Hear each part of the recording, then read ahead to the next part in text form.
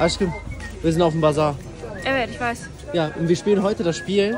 Wenn du es auf Türkisch weißt, kaufe ich es dir. Willst du ernsthaft das spielen? Ja, warum? Willst du so viel Geld verlieren?